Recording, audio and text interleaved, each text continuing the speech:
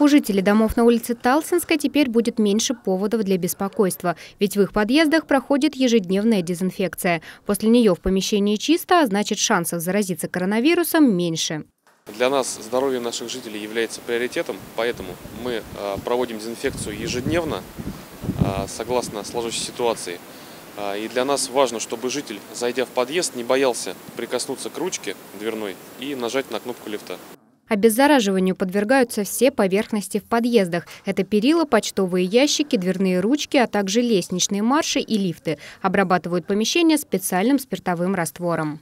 Дезинфекция у нас производится с помощью э, дезинфицирующих средств на спиртовой основе.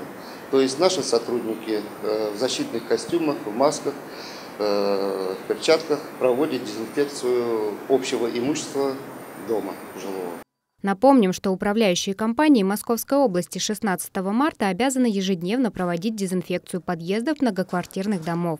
Это одно из противоэпидемических мероприятий в связи с введением режима повышенной готовности. Если вы заметили, что в вашем подъезде не происходит дезинфекция, то вы должны обратиться в свою управляющую компанию, либо в единую диспетчерскую службу Московской области. Мария Буржинская, Валерий Жиглей, Щелковское телевидение.